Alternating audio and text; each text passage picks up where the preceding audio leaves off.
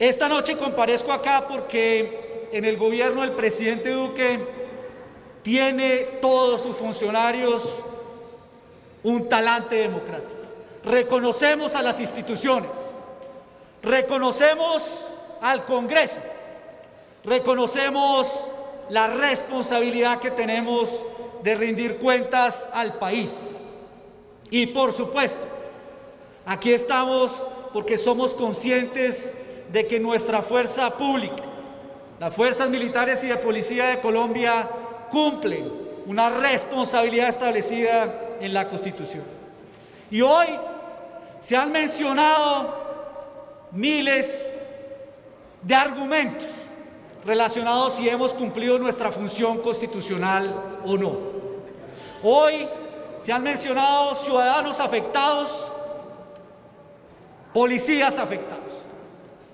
Y yo la verdad, la noche anterior, hablando con mi hija Sofía, con mi hijo Juan Felipe, dos jóvenes que le preocupa a cada uno de ellos la situación de Colombia como nos preocupa a todos, me hacían la reflexión. ¿Por qué tienen que estar discutiendo dónde hay más lesionados? Que si son civiles, que si son policías, que por qué están heridos. La discusión de Colombia no es esa.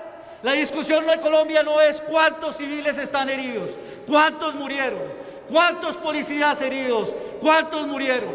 Ninguno, ninguno ha debido salir lesionado en su integridad o en su vida en esta violencia que se ha generado durante estos días. La discusión de Colombia, y yo lamento cada uno de los que ha sido afectados, civiles o uniformados. Mi solidaridad con sus familias. Pero la responsabilidad no es de la policía. La responsabilidad es de quienes generan la violencia. Y en este debate queremos discutir el talante que tiene el presidente Duque y la responsabilidad de la fuerza pública de cumplir sus funciones constitucionales. Y que sea, por supuesto, que en esta sesión de la democracia quede claro que hay una función constitucional de para nuestra fuerza pública de garantizar el orden, la tranquilidad, la vida y el bienestar de todos los colombianos. Y que sea también esta la oportunidad para decir, y a lo largo de la presentación lo haré, que muchas veces es muy fácil decir mentiras que no requieren evidencia alguna y se mueven raudas por las redes sociales. Pero a los funcionarios públicos nos corresponde asumir la verdad, porque la, la verdad requiere rigurosidad, la verdad requiere responsabilidad, la justicia requiere un debido proceso. Como funcionario público asumimos esa responsabilidad esta noche.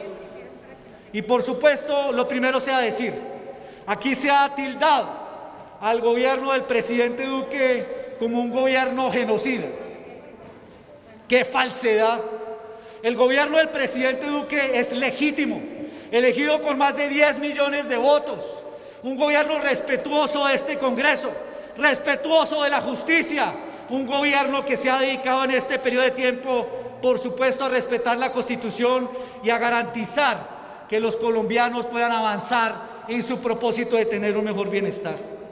Y aquí, que sea esta la oportunidad para decir que la instrucción del presidente a sus funcionarios, a la fuerza pública, es el respeto a la Constitución, el apego a la ley, el apego a los derechos humanos como corresponde, antes, ahora y siempre para nuestra fuerza pública. Y con relación a ese talante democrático, también quiero decirles, en este funcionario, en Diego Molano, hoy como ministro de Defensa, antes como director del ICBF, por supuesto como director de Acción Social, que me ha honrado la posibilidad de esta patria de servir, hemos tenido toda la voluntad de dialogar, hemos tenido toda la conciencia social. Y sí que conozco a los jóvenes hoy que están marchando. Y sí que conozco a los jóvenes de las comunas de Siloé y sé las angustias por los que han vivido.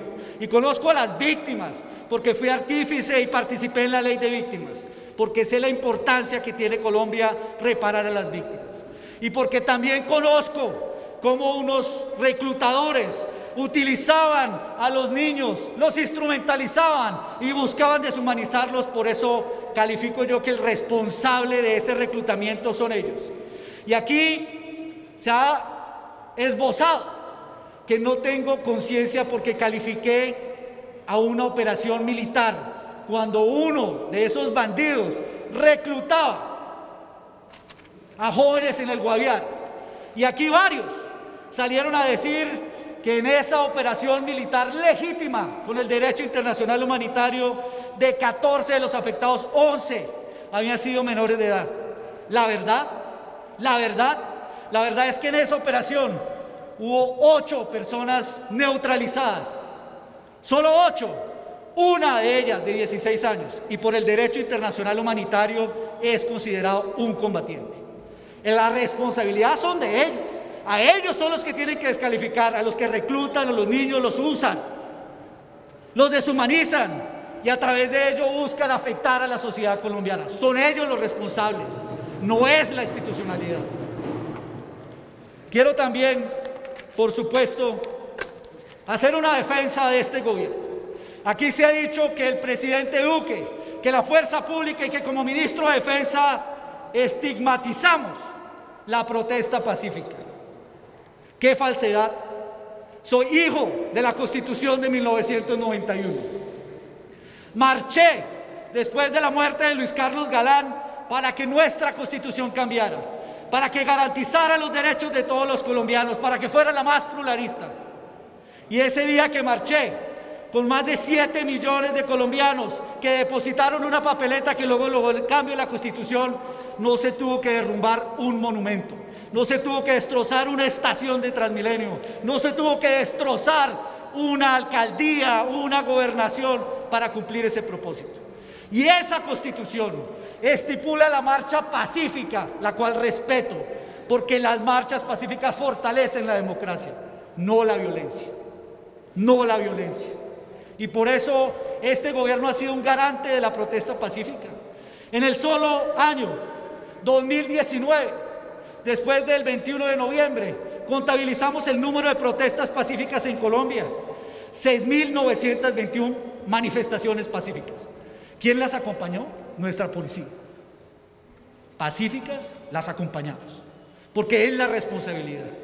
En el año 2020, 16.000 manifestaciones pacíficas en más de 900 municipios colombianos. ¿Quién las garantizó? Este gobierno. ¿Quién las acompañó? La Policía Nacional.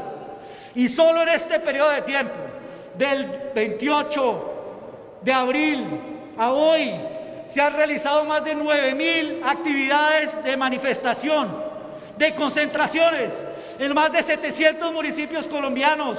Todos los días entre 60 mil, 80 mil o si quieren más colombianos marchan. Y lo han hecho pacíficamente y ahí ha estado la Policía Nacional garantizando que puedan manifestarse, porque los policías dan hasta su propia vida para que las manifestaciones pacíficas pasen en Colombia. Por supuesto que respetamos la manifestación pacífica. Aquí este es un gobierno que tiene talante democrático. Y por supuesto, esta manifestación pacífica en estos momentos que tiene el país es importante. Y aquí este gobierno no desconoce que hay incertidumbre social que por supuesto hay inconformismo y ha llamado al debate, ha llamado a la discusión, ha llamado al diálogo. Y ahí están las mesas y está la voluntad siempre de dialogar, pero la voluntad de dialogar debe estar de las dos partes de la mesa cuando hay propósito de construir y no de obstruir. Y por supuesto, aquí se ha señalado en este periodo de tiempo que este gobierno no respeta la manifestación pacífica. Y fue este gobierno, después de una sentencia judicial, que expidió el decreto en el cual se estipula procedimientos claros que debe cumplir la policía, que tiene responsabilidad las alcaldías para garantizar que se dé la marcha pacífica y el uso adecuado de la fuerza. El 3 de enero fue expedido, el 10 de enero ya se estaba capacitando a la policía de cómo utilizarlo. Fue este gobierno el que convocó a mesas con marchantes y con otros no marchantes, con las entidades de gobierno para que se estipularan las reglas, reglas que se están cumpliendo todos los días a pesar de las dificultades que se han tenido en todo el país. Reglas como evidencia este video, en donde en Cali, en donde en Bogotá, en donde en Barranquilla aparece un funcionario de la personería verificando que aquel policía del SMAT que va a salir a la calle tenga la identificación completa, porque nuestros policías actúan con apego a la ley. O como, vemos en el video, de que ese funcionario se verifique su formación en derechos humanos por la personería. O como se ve en ese video, que el órgano que hace la verificación de la alcaldía revisa que tenga armas de menor letalidad. Este gobierno cumple, la policía cumple, porque tiene el propósito de apegarse a lo que ha señalado los diferentes decretos, por supuesto. Y tenemos una política de derechos humanos, una política que ha venido siendo desarrollado y que aplica para toda nuestra fuerza pública. Una política que en todo este periodo de tiempo, por supuesto, busca que cada soldado, que cada policía, que cada oficial, que cada suboficial, que los miembros civiles de nuestra fuerza tengan conocimiento de los derechos humanos. Que por supuesto haya un estricto apego en los procedimientos. Que adicionalmente ese decreto se aplique a todos los manifestantes para darles protección, porque creemos que la manifestación pacífica robustece la democracia. Pero ¿qué afecta a la democracia? ¿Qué empaña estas manifestaciones. Y aquí no puede haber titubeos. En el momento que después de una manifestación se lance la primera piedra y comiencen los desafueros, eso es violencia. Y ahí tiene que actuar la fuerza pública. Aquí no se puede justificar el lanzamiento de una piedra como un hecho simple. Una piedra destruye, una piedra afecta la integridad de las personas. Porque después de la piedra viene la destrucción de la estación de Transmilenio, porque después de la piedra vienen las bombas Molotov que incineran establecimientos públicos, porque después de las piedras viene la afectación a las institucionalidades, porque después vemos los atentados contra los sistemas de transporte público, contra los CAI, como lo vimos hoy. Y por eso nosotros respetamos a los manifestantes pacíficos, pero los violentos, a los criminales, a los que después se convierten en hechos delictivos que afectan a la sociedad colombiana, tenemos que actuar con toda contundencia. Deja de ser manifestación pública y pacífica cuando empiecen los desafueros y obliga a la constitución colombiana a nuestra policía a actuar. Y además de 9 mil actividades de manifestación pacífica acompañadas por la fuerza pública en estos 15 días, se han presentado 1.115 disturbios que han generado violencia. Es allí donde ha actuado el SMAT. Es allí donde obliga la Constitución a que se respete la ley y los derechos de terceros. Porque este gobierno y esta fuerza pública tiene claro que tiene tres deberes. Primer deber, decirle a los colombianos que no salen a marchar que debemos responsabilizarnos por garantizarles su tranquilidad, su vida, su honra, su posibilidad de salir a trabajar. Decirle a los manifestantes que lo hacen pacíficamente que a este policía también garantice ese derecho a la manifestación. Pero frente al vandalismo, frente a la destrucción, es necesario actuar con apego a la ley y para garantizar la autoridad, el orden y el restablecimiento de la seguridad, por supuesto. Y lo que hemos visto aquí no son pequeños vandalismos. Lo que vimos en Cali, durante los 28 y 29 de abril y 1 de mayo fue un enfoque sistemático, premeditado, organizado y planeado para destruir la ciudad y afectar la institucionalidad. Y es que no es menor acto de vandalismo o curioso el detalle de que en una sola tarde se destruya, se incendie la gobernación, la alcaldía, la procuraduría, la fiscalía y adicionalmente la DIAN y al día siguiente sistemáticamente destruyan las estaciones del mío, afectando la posibilidad de movilidad de cientos de trabajadores, de estudiantes, de caleños que querían tener una movilidad libre. No es coincidencia. ¿Por qué al día siguiente el ataque estuvo contra las cámaras de seguridad? ¿Por qué se destruyeron las cámaras de fotomulta? ¿Alguien que no quiere ser vigilado? ¿Y por qué desafortunadamente en Cali lo que vimos fue después un ataque sistemático a la policía. Lo vimos en Siloé, lo vimos con los ataques a los CAIs, lo vimos con la vida afectada de dos de nuestros miembros de la policía durante estos días en ese periodo de tiempo. Y veamos el caso de Siloé. En Siloé se han hecho concertaciones y marchas pacíficas, por supuesto. En Siloé hemos visto el interés que tienen muchos de los jóvenes allí de encontrar una posibilidad y un camino, y eso lo respetamos.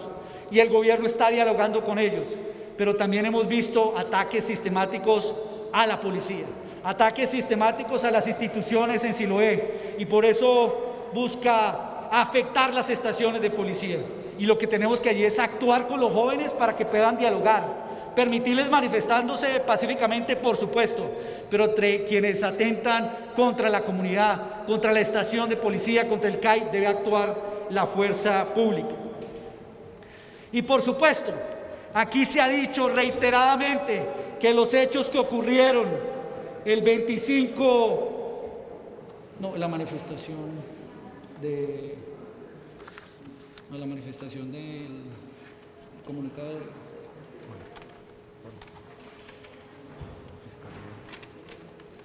Aquí se ha dicho que no me he manifestado sobre los hechos de justicia propia, de justicia por su propia mano. Y aquí tengo cómo respondía a eso. En una pregunta que me hacía un medio de comunicación frente a lo que sucedió en Ciudad, en Ciudad Jardín. Me dicen, hablan los de la camioneta blanca o varias camionetas cuyos ocupantes estarían detrás de una serie de disparos. Y lo que yo respondí para aquellos que dicen que no me he pronunciado fue que desde el mismo momento en que se denunciaron los hechos, se dispuso un grupo especial de investigadores que viene trabajando con la Fiscalía para dar con los responsables. Las cámaras de seguridad y los videos que se conocieron serán utilizados. Y a pesar de las dificultades y la violencia, Colombia no puede permitir que nadie haga justicia por su propia mano. Esa historia ya la vivimos y nunca ha resultado bien. Este escenario nadie lo va a aprovechar para desmanes, dije yo. Todo el respaldo a la fuerza pública es la única que debe tener el monopolio de las armas para garantizar la defensa y la seguridad de los colombianos. Hay que dejar al lado tanta violencia rechazándola de donde venga. Lo dije, me sostengo y así he actuado porque esa es mi convicción. Y por supuesto, en este periodo de tiempo han sido otras las ciudades afectadas. Aquí se ha dicho que soy un mentiroso, porque la mentira vuela, rauda por las redes sociales, pero a los funcionarios públicos nos corresponde decir la verdad sustentada. Y es cierto, lo que se robaron de la URI allí durante la incineración, el ataque en Popayán, no fueron 55 armas, fueron 71 después de las investigaciones, 12 fusiles, 34 pistolas, 27 revólveres. En la URI, previamente, en Popayán, dos veces habían sido intentadas incinerarlas. Y qué curioso que después de un acto de incitación se destruya una URI. Qué curioso. Lo mismo sucedió en Cali, afectar a la justicia. Allí se destruyeron historias y archivos criminales de las FARC, de las disidencias de, las disidencias de la FARC y del ELE. Qué curioso. Que se afectara la justicia esa noche. Yo sé y ya tengo absolutamente claro que los manifestantes pacíficos de Popayán no fueron. Pero ¿quiénes sí lo hicieron? Los violentos, los criminales. A uno los diferenciamos y los protegemos. Pero contra quien se atreve a atacar la justicia, la institución de justicia, debe caer todo el peso de la ley, se debe investigar y se debe judicializar, porque es una afectación a la justicia. Y por eso quiero también reseñar que en todo Bogotá ha estado acompañando todo el tiempo nuestra fuerza pública. Y hemos visto manifestaciones numerosas en Bogotá, en Los Héroes, en la Plaza de Bolívar. Pero aquí, cuando en la Plaza de Bolívar se han presentado manifestaciones pacíficas, se acompañan. Pero cuando un grupo de manifestantes cambian de comportamiento y unos de ellos, que no son los pacíficos, sino los violentos, tratan de tomarse el Congreso, es necesario reaccionar. Y a mí sí me parece curioso que algunos de ustedes, cuando estaba sucediendo el hecho en el Congreso de Estados Unidos, que una turba se tomó el Congreso, todo el mundo decía, crisis para la democracia. No pudo la policía. Y cuando el SMAT se para al frente del Congreso de la República, del Palacio de la Justicia, a proteger la institucionalidad, le dicen que es un abusador. Pero en Estados Unidos dicen si falló la justicia. Y por supuesto, han sido muchas las otros afectados. Vemos hoy las afectaciones en Huila, en Teruel. Vimos a las afectaciones en la alcaldía de Pasto. Vimos las afectaciones que ha tenido en Barranquilla, en Cartagena, en Bucaramanga, a las instituciones. Y por supuesto, el caso de Puerto Libertador. Y yo quiero referirme a él, porque una política del presidente Duque es la legalidad. Y la legalidad implica que se ejecuten acciones del gobierno para hacer cumplir la ley. Pero entiendo la situación de esa comunidad. Y por eso le he pedido al ministro Diego Mesa que este gobierno, además de exigir la legalidad, tiene el programa de formalización. Y le he pedido que a esa comunidad, que sabemos es vulnerable, pero tiene la voluntad de la legalización, pueda entrar en el programa de formalidad específicamente. Porque todo aquel colombiano que busca una oportunidad, la legalidad también se la da. Y este gobierno y el ministro Mesa tiene toda esa disposición de actuar en ese sentido. Todo aquel que tenga esa voluntad de formalidad. Y yo sí quiero decirle a los colombianos esta noche que las instituciones están bajo ataque. Qué curioso que no solo en Cali, sino en Bogotá, en Barranquilla, en Cartagena, hemos tenido sistemáticamente ataques a la institucionalidad. ¿Por qué las alcaldías? ¿Por qué las gobernaciones atacadas? Y lo que vemos hoy en Tuluá. En Tuluá acaban de incinerar. Mientras nosotros discutíamos acá, no de los manifestantes pacíficos, porque ellos no fueron, estoy seguro de ellos, pero sí un grupo de vándalos y delincuentes que esta mañana tuvieron que salir porque estaban afectando el bloqueo estaban bloqueando la vía panamericana, afectando la seguridad alimentaria, el oxígeno que necesitan los bayunos, la salida de las actividades productivas que necesita Valle para volver a tener empleo. Como reacción a ese bloqueo salieron a incendiar una unidad de justicia, un ataque a la justicia nuevamente. Qué curioso. Qué curioso que son la justicia, que son los CAIs, que son las gobernaciones, que son las alcaldías que salen afectadas en este periodo de tiempo. Y lo hicieron no solo en Tuluá, hoy vimos ataques a establecimientos de comercio en Cartagena, en Barranquilla y nuevamente a los centros de atención inmediata en las ciudades. Nosotros respetamos la manifestación pacífica y estamos seguros que ellos no fueron. Pero todos aquellos que atacan la institucionalidad tiene que hacerse de verdad evidente lo que he dicho y lo que algunos criticaron cuando una democracia claudica ante la violencia y no actúa, porque la justifica, porque solo tirar una piedra se destruye y se erosiona la institucionalidad, la confianza, la seguridad de un país. Por eso sabemos también que aquí se han señalado hechos, hechos a los cuales me quiero referir. Tenemos cero tolerancia con cualquier acción irregular de un soldado o un policía que manche el honor de su uniforme. Porque estamos convencidos que desde siempre nuestra fuerza pública, la policía, ha tenido el apego a la constitución y la ley. Porque tiene la formación, los procedimientos para poder cumplir por voluntad, por compromiso, pero además porque es lo que dice la ley. Y somos los garantes de que esa ley se cumpla. Y por supuesto tenemos una política de derechos humanos.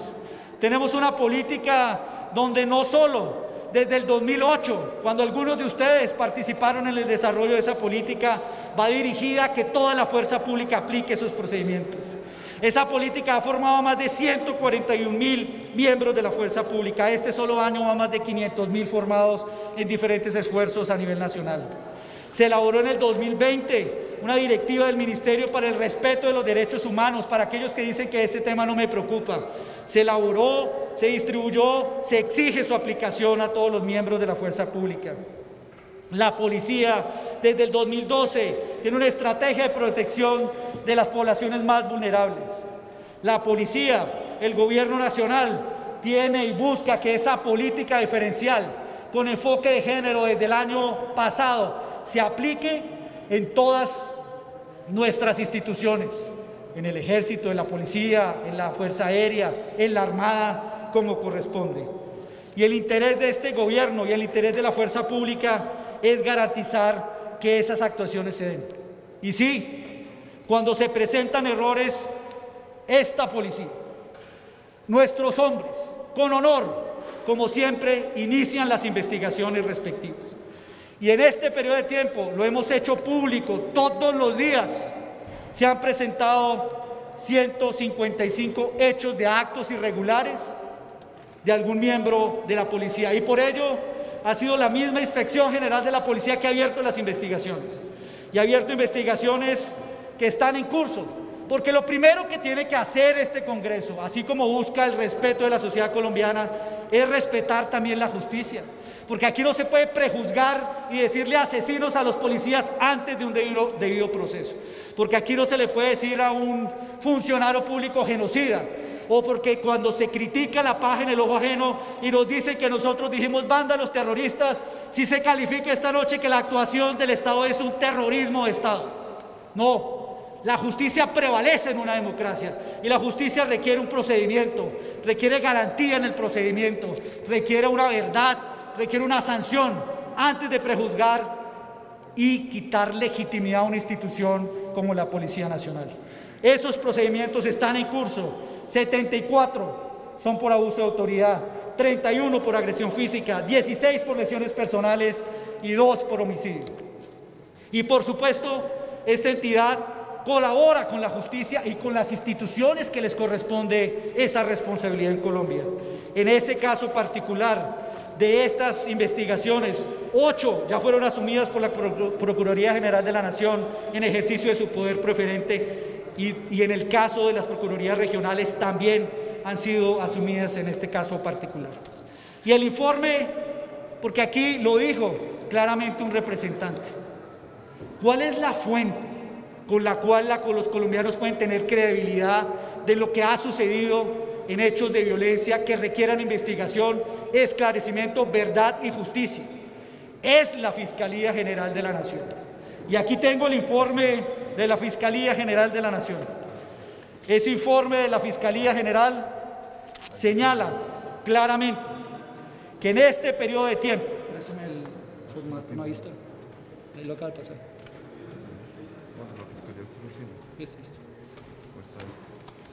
Este informe de la Fiscalía General de la Nación, que es la única entidad responsable, autoridad de justicia en Colombia, así tiene que ser, es lo que establece la Constitución, así a pesar de algunos no les guste.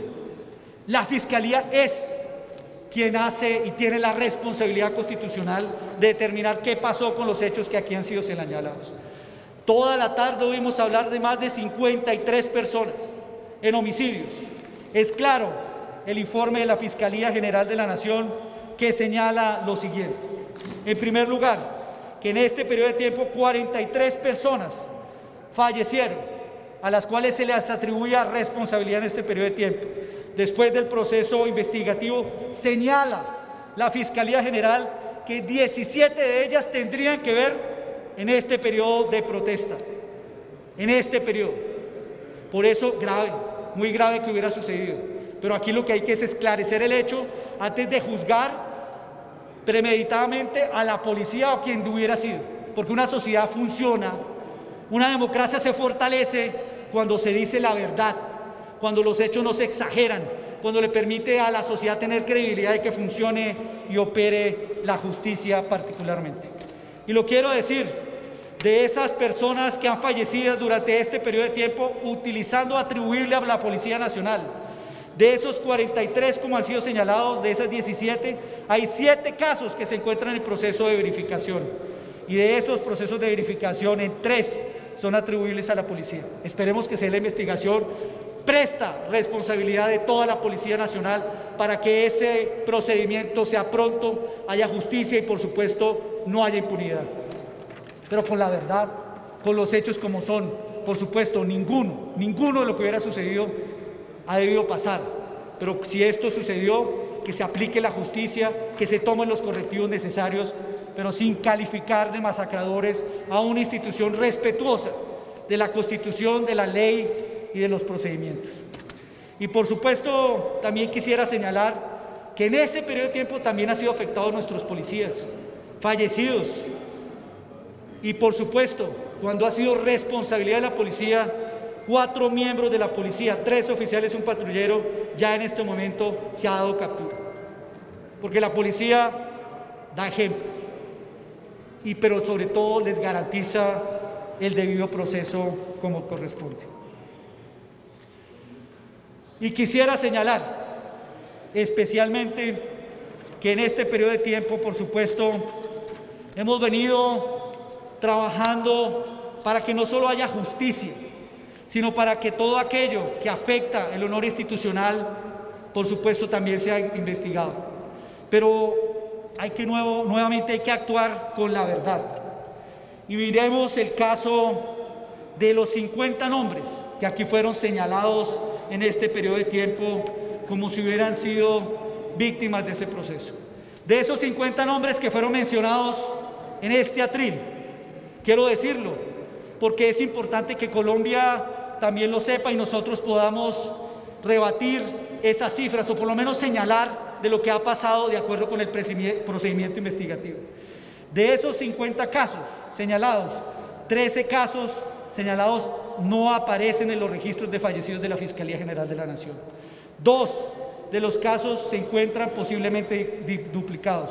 14 de las víctimas mencionadas por la representante o por los representantes eh, coinciden con víctimas que la, la Fiscalía ha señalado. Siete de esos casos no estarían relacionados con la actividad de protesta y nueve casos están en proceso de verificación. Muy importante que la justicia se aplique y que esa sea la información con la que debatamos que esa sea la información que tenga Colombia antes de prejuzgar o de calificar a un ESMAD o a la policía como genocidio. Y por supuesto, respetamos la Constitución, respetamos la ley, respetamos las víctimas, respetamos a aquellos a quienes han sido afectados y colaboraremos de forma contundente para que se haya encontrado los responsables y Colombia tenga justicia. Pero lo mismo que se aplique a quienes afectan a nuestros policías. Pero ¿quién está detrás de esta violencia? Porque esa es la pregunta de fondo. No son los manifestantes pacíficos, claro que no, porque entendemos que los jóvenes que están en la calle, los jóvenes que salen a marchar, no son los que generan la violencia. La violencia es generada por unos individuos que tienen intención de destruir, que tienen una mentalidad criminal de buscar destruir a la justicia. ¿Y quienes están detrás? Porque nuestra responsabilidad, así como es garantizar la manifestación pacífica, es encontrar a todos aquellos que están generando este daño y esta violencia en Colombia. Aquellos que destruyen las URIs, aquellos que destruyen las gobernaciones, aquellos que afectan la vida de los policías, aquellos que en su actividad y en su accionar buscan vulnerar o afectan la integridad de otros colombianos. Y lo que hemos encontrado, porque es la responsabilidad de la policía en ese proceso investigativo, es que detrás de estas actividades, en capturas concretas, porque aquí se hace con operación de justicia, no precalificando previamente a quienes son los responsables. En una operación de judicialización de la policía y la fiscalía fue capturado, por ejemplo, alias Barbado, en Manizales, responsable de actos vandálicos y de destrucción. Responsable porque hay un proceso judicial en curso que evidencia con pruebas sumarias de que tenía esa responsabilidad. Y fue capturado, alias Lerma, que había sido capturado en el 2018 con relaciones con el ELN, que había sido destacado por Marcos Pacífico para llegar a Cali con la intención de financiar y desarrollar actividades de vandalismo en Cali. Y además lo encontraron con la mano de una de estas armas no letales que tiene la policía con el, símbolo del SMAT llenos de explosivos porque buscaba atentar contra una de las manifestaciones para luego inculpar a la Policía Nacional.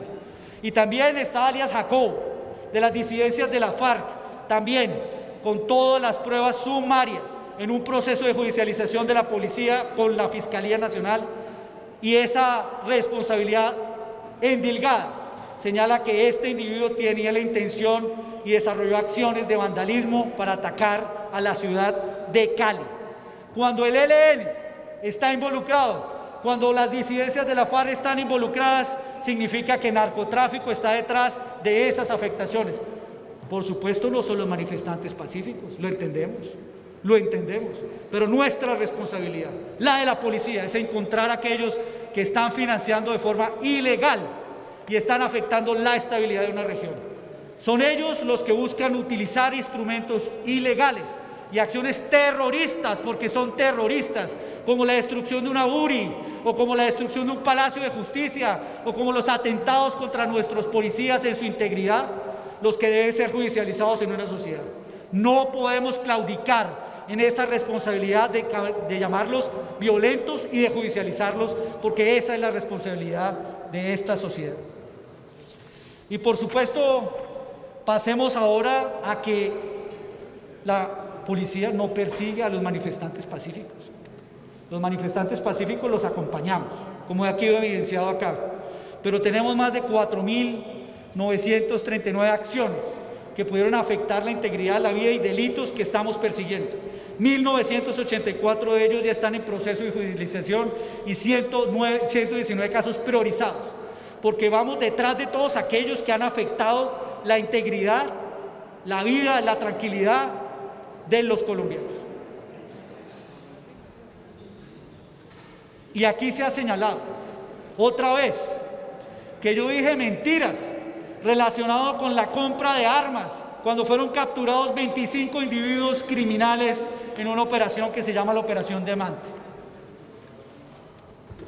La justicia opera con información, con pruebas y con evidencias. Y aquí está el informe donde señala claramente que estos individuos que fueron capturados como resultado de ese proceso investigativo estableció la relación de esos grupos que están relacionados con las disidencias de la FARC, con relaciones con los grupos criminales de Cali, suministrándole armas para desarrollar acciones y atentados contra nuestra policía.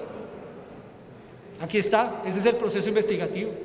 Aquí no decimos mentiras, aquí obramos de acuerdo con investigaciones a fondo de aquellos que buscan inculpar o afectar la estabilidad de nuestra sociedad.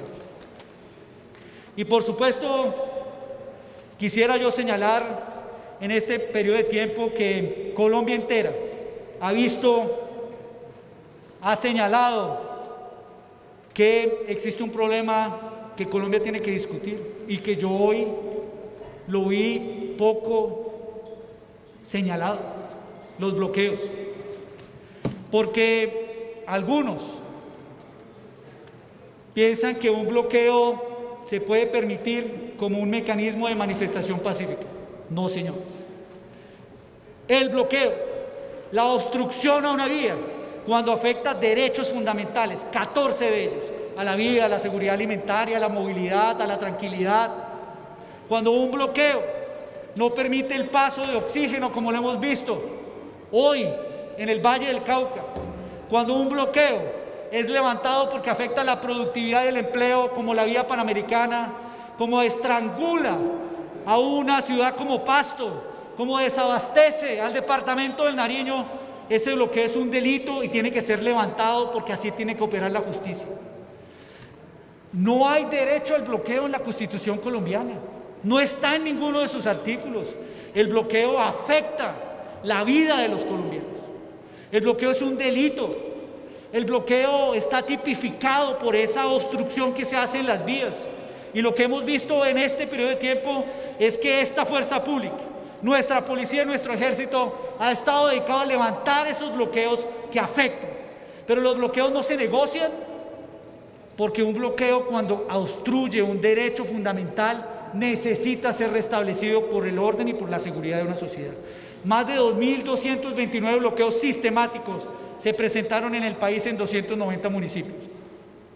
Y ha sido la fuerza pública, la policía en compañía con el ejército, que diariamente sale a levantar esos bloqueos que afectan la vida y la tranquilidad. Iniciamos con más de 800 bloqueos la primera semana, la segunda semana 500, esta semana y gracias al trabajo de esa fuerza pública solo quedan 38 en vías principales, más otros casi 30 en vías secundarias y terciarias. Pero siempre buscan volver o justifican levantar un desbloqueo, levantar un bloqueo como el de Tuluá para afectar a un palacio de justicia Nada justifica que por levantar un bloqueo tenga que atentarse contra la alcaldía, contra un palacio de justicia en una sociedad. Y eso lo, tenemos que rechazar todo. Lo tienen que rechazar quienes no marchan, lo tienen que rechazar los que marchan pacíficamente, porque una sociedad no puede tolerar ese tipo de actuaciones que atentan contra la democracia. Y esos colombianos y muchos que hoy nos señalaron de ser demasiado exagerados porque había pequeños bloqueos o solo eran unas tiradas de piedra. La verdad es que en este periodo de tiempo han buscado afectar activos estratégicos de la nación. Y lo hemos visto como afectación de esos objetivos estratégicos en Nariño, en Cauca, en Putumayo, en Caquetá, en Valle del Cauca en el Huila, no se han permitido gracias al trabajo de nuestro ejército y nuestra policía. Buscaban bloquear la normal operación de la infraestructura de hidrocarburos en Putumayo. Gracias al ejército no se les permitió. Buscaban evitar los procesos de tratamiento de agua para que no pasaran insumos. Gracias al ejército no se permitió y llegaron los insumos a Bogotá. Buscaban implementar o impedir que la bienestarina del ICF llegara a millones de niños que tenían que salir desde Cartago gracias al Ejército Nacional, esa bienestarina llegó a esos niños que lo necesitan. Buscaban evitar que 51 toneladas de alimentos llegaran al Chocó. Gracias al Ejército y a la Fuerza Aérea Colombiana, esa alimentación llegó. Buscaban que las navieras suspendieran su operación en el puerto de Buenaventura, afectando el empleo, la dinámica económica, el ingreso y la alimentación y gracias a la fuerza pública que está actuando allá, vamos a lograr que Buenaventura restablezca sus mecanismos de comunicación, sus vías de transporte, no solo para el comercio, es para todos aquellos ciudadanos que hoy están siendo afectados en Buenaventura y en todo el Pacífico colombiano. Queremos esta noche señalar que además se ha calificado aquí que no se buscaba afectar la infraestructura, que esto no es grave. En algunas regiones de Colombia buscaron afectar la distribución de crudo y gas. El batallón de infantería número 44 garantizó ese abastecimiento. En la sede de Ecopetrol en Putumayo, ya lo señalé, el batallón especial energético garantizó esa seguridad. En Jumbo, una noche completa, los vándalos y los violentos, porque no son los manifestantes pacíficos, son los vándalos y los violentos. Buscaron atentar contra la estación de bombeo de gasolina que surte a todo el valle. Gracias al trabajo de policía y ejército se logró contener ese ataque y lograr mejorar la distribución de gasolina al Valle del Cauca y a Cali. A Cali en un momento determinado le restringieron todos los accesos a la ciudad, buscando a la ciudad afectarla. Filas, de kilómetros de carros por una gasolina, gracias al trabajo de la fuerza pública, mientras que normalmente se tenían 100 mil galones de gasolina en la ciudad que no fueron, pudieron ser distribuidos, hoy se restableció ese proceso para surtir la gasolina, aún hace falta, porque Cali está afectado y sabemos y trabajamos todos los días a ellos para que se restablezca esa realidad. Y quiero referirme hoy, porque aquí hay representantes de todos los departamentos de Colombia, la afectación que ha tenido Caquetá, la afectación que ha tenido Huila, en su seguridad alimentaria, porque hay un bloqueo en Altamira, bloqueo que requiere ser levantado y en el cual trabaja no solo el gobierno, porque también dialoga, sino que actúa la fuerza pública para hacerlo. No solo el desabastecimiento que se presenta en Nariño, porque allí también trabaja para hacer concertaciones con las comunidades indígenas como lo hace el Ministerio del Interior día y noche durante este periodo de tiempo. Aquí hemos desbloqueado para, para lograr abastecer a la sociedad colombiana.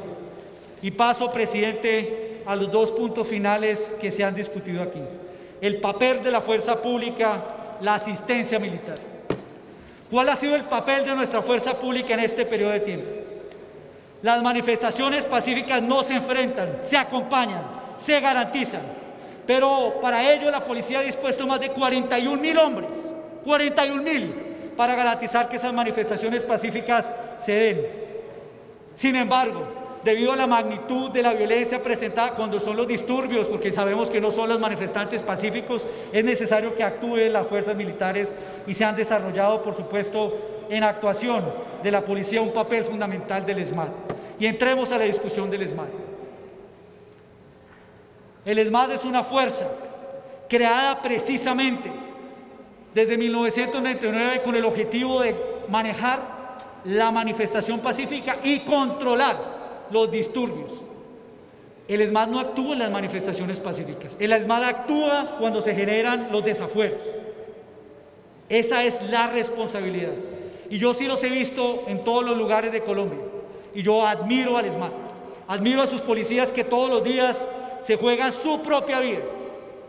A pesar de que son golpeados, a pesar de que son vituperados en muchas regiones de Colombia cuando cumple su función.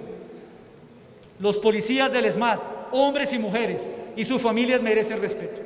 Porque una policía necesita garantizar el cumplimiento de su función porque la democracia depende de que opere muy bien una policía.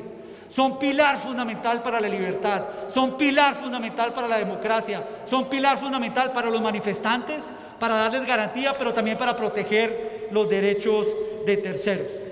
Y yo quiero aquí señalar que sin la menor duda, Colombia tiene una fuerza pública que por supuesto está dispuesta siempre a mejorar, pero aquí hemos tenido un SMAT que cuando actúa en este periodo de tiempo lo ha hecho con decisión, con compromiso. Y allí donde se han cometido fallas tiene toda la disposición de actuar. Esos hombres y esas mujeres son unos héroes y merecen respeto de Colombia. No tildarlos de genocidas, no tildarlos de masacradores, como aquí ha sido todo el tiempo señalado el actuar del ESMAD. Y paso, por supuesto, a la asistencia militar. Pensaría uno que por qué se dio la asistencia militar, señalaron algunos. Ante tamaña violencia, no fue por las manifestaciones pacíficas que se tomó esa decisión, fue ante tamaña violencia y amenaza que enfrentaba Cali, que enfrentaba Popayán, que enfrentaba el suroccidente colombiano cuando se tomó una decisión de asistencia militar. Pero no fue una asistencia militar que se inventó este ministro de Defensa, es un mecanismo legal establecido por una ley que ustedes aprobaron en el Congreso de la República como un mecanismo de apoyo al medio de policía. Cuando hay gravedad en la alteración de convivencia y seguridad, se puede tomar esa decisión y eso sucedió en Colombia. Y esa fue la decisión que tomó el presidente de la República y fue la decisión que se aplicó. Y el nivel de intensidad de violencia que se vieron esos días obligó a que se tomara la decisión de asistencia militar ante los notorios hechos de, alteración en el orden público. Pero ¿qué es la asistencia militar que tanto ha sido criticada acá? Es un instrumento, primero, legal, aprobado por este Congreso. Segundo, es temporal y excepcional. Está avalada por la Corte Constitucional y nunca, nunca suple a la autoridad civil que está elegida en la alcaldía, que elegida en la gobernación. Es un instrumento que busca apoyar la labor de policía para restablecer los mecanismos de seguridad y convivencia. ¿Y qué, cuáles han sido los ejemplos de asistencia militar? Hemos visto a nuestro ejército acompañando la protección de activos estratégicos en Cali, cuando había destrozos a las estaciones del mío, cuando buscaban tomarse a los patios talleres del mío, o cuando en Bogotá en las madrugadas buscan atentar con los patios talleres de Transmilenio. Ahí estaba el ejército protegiendo activos estratégicos. ¿Qué es la asistencia militar? Cuando en estas semanas buscaron tomarse la salvajina para entrar al cuerpo de máquinas, no se les permitió porque ahí estaba el ejército protegiendo ese activo estratégico de la nación. O cuando un grupo ya no de manifestantes pacíficos, sino algunos que toman la violencia por su propia mano, quisieron entrar en Durango, el Estado, particularmente el ejército, no lo permitió. Y los resultados son fundamentales. En apoyo a los desbloqueos, los bloqueos afectan la seguridad alimentaria que ha hecho el ejército acompañar a la policía para que se desmonte el bloqueo y luego se garantice la seguridad en la vía. Eso fue lo que sucedió hace dos días, cuando por dos semanas llevamos bloqueada la vía Buenaventura, gracias a un trabajo conjunto entre la Policía Nacional, entre el ejército, se ha logrado recuperar cuatro puntos de la vía obstaculizados. Primero actuó el SMAT y luego hace presencia el ejército para restablecer las caravanas, para dar seguridad alimentaria. Todos los días, día y noche actúa nuestro ejército y nuestra policía. Nos han buscado afectar, pero no descansaremos hasta que se restablezca esa movilidad y el abastecimiento de todos los rincones de Colombia, como por supuesto se requiere. Pero sí quisiera terminar, porque aquí se ha señalado que no hay voluntad de cambiar a la policía, que no hay responsabilidad con un cuerpo como con la policía. Pero yo primero quisiera señalar que lo que tiene que reconocer la sociedad colombiana y lo que nosotros estamos dispuestos día y noche es a respaldar a la policía, porque la policía sí ha estado bajo ataque en este periodo de tiempo. Nuestra policía, solo para tomar un ejemplo, se ha afectado en varios frentes. A la fecha, dos policías han fallecido, 1049 han sido afectados en su integridad, 95 centros de atención inmediata han sido vandalizados o incinerados, 483 vehículos institucionales, 9 estaciones, una escuela de formación, es increíble, donde estudian los niños de los policías en el Huila fue atacada, atacada por ser solo de los hijos de, de los policías de Colombia. Colombia entera tiene que rodear a su policía. Claro, es una institución de la democracia, es una institución que garantice la convivencia. Todo lo que tengamos que hacer para mejorar, lo tenemos que hacer. Pero no solo está bajo ataque físico, a la integridad, con la vida, lesionados los policías, también está bajo ataque mediático porque lo que sí hemos visto en este periodo de tiempo son una serie de noticias falsas en redes sociales que buscan afectar la credibilidad y la integridad de la policía. De más, de más de 114 noticias falsas identificadas por el CAI de ciberseguridad, 55 de ellas son en contra de la policía, con noticias falsas. Ha salido en las últimas semanas mensajes diciendo en las redes que fue la policía la que incendió el hotel La Luna en Cali. Falso. Fue un ataque a la policía el que sucedió allí. Se ha dicho que hay helicópteros que están disparándole a los ciudadanos. Falso. Los helicópteros están para dar protección, para acompañar las caravanas. Se dijo que en un establecimiento comercial en Cali, en un establecimiento comercial era una sala de tortura. Una sala de tortura. Falso. Se dijo que la policía capturaba periodistas con imágenes de Nicaragua. Falso. Se dijo que la policía incendiaba establecimientos de comercio falso.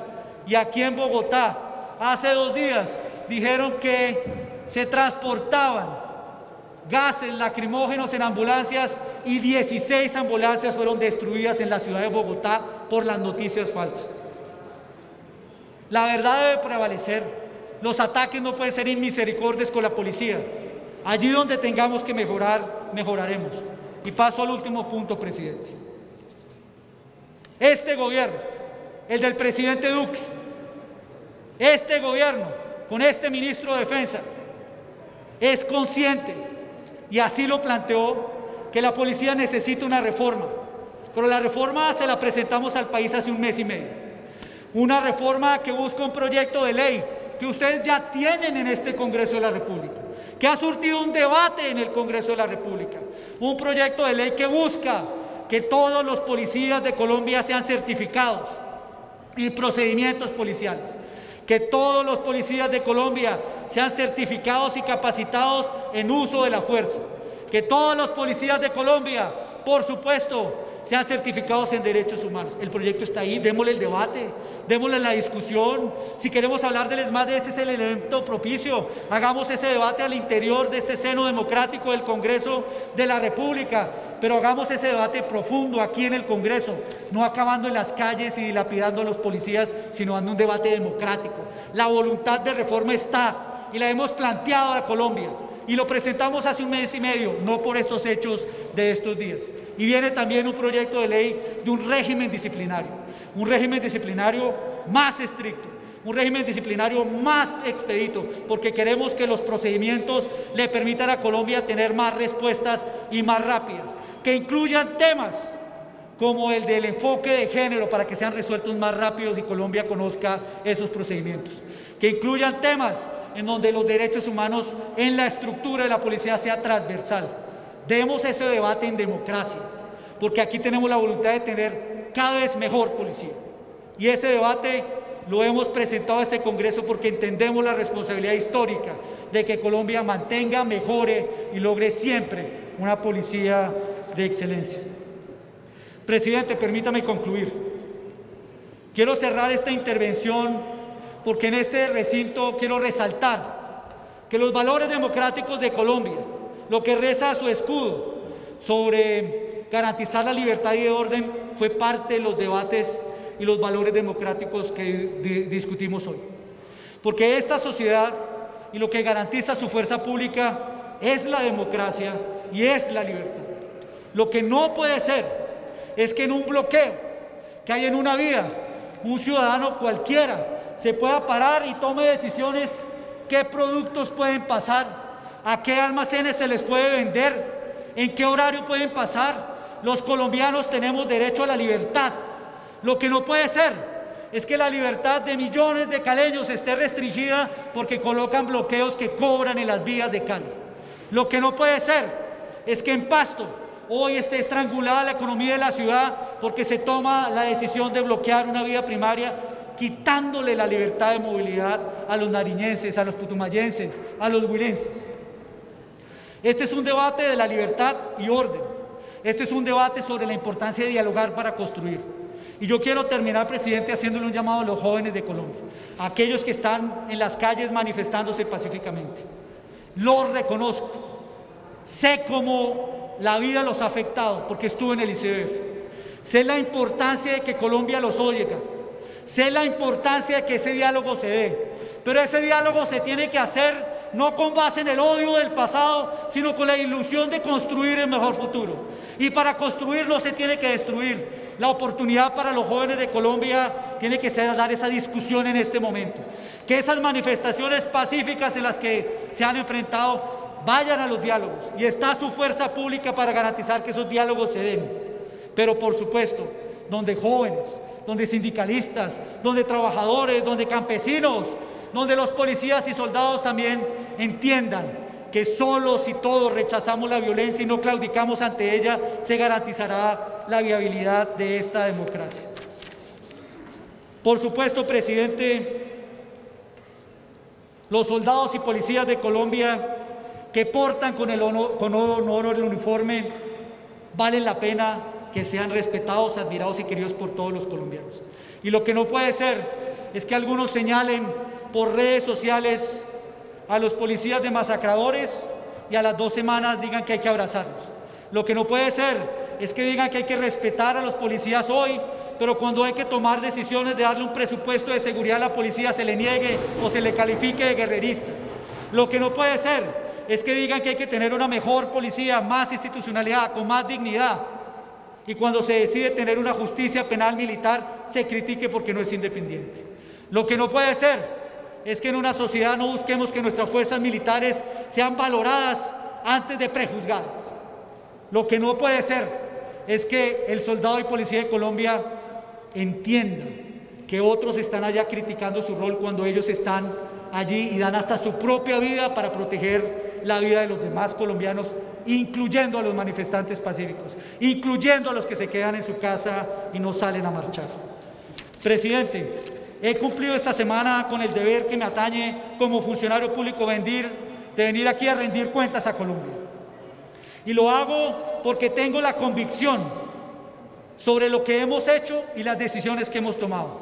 Y lo hago porque como hijo de la Constitución de Colombia me responsabilizo de las funciones que tengo en el Ministerio de Hacienda, en el Ministerio de Defensa, de preservar la vida, la honra, el trabajo y la dignidad de los colombianos. Y lo hago aquí porque esta gestión la hemos hecho con compromiso, con amor por Colombia, con respeto por los policías y soldados de Colombia. Y actuaremos día y noche en las próximas semanas para que se restablezca el orden y la seguridad a los caleños que se lo merecen, para que se restablezca el orden y la seguridad a los putumayenses, para que se restablezca la tranquilidad en Barranquilla, para que en Tuluá no sigan afectando a su institucionalidad. Por la vida de esos colombianos estamos actuando aquí hoy y en esta, en esta noche. Presidente, yo quiero decirle a Colombia que en estos momentos difíciles que enfrentamos, nuestra democracia tiene que unirnos. Y nos tiene que unir un espíritu de construir a pesar de las diferencias. Y nos tiene que unir un espíritu no de criticar al otro o de ver cuántos muertos pone un grupo, cuántos muertos pone el otro. La sociedad colombiana necesita avanzar pero no se avanza con destrucción o con odio del pasado, sino con esa esperanza que todos los jóvenes quieren, que también los adultos queremos, que también los campesinos quieren, que también los empresarios quieren, que también la iniciativa de los jóvenes se vea reflejada en esa posibilidad. Pero la autoridad no se negocia, la libertad no se negocia, la democracia no se negocia, el Estado no se negocia. Mientras yo sea ministro de Defensa, nuestra fuerza pública garantizará la autoridad, la libertad, la institucionalidad y la democracia de Colombia, presidente. Muchas gracias.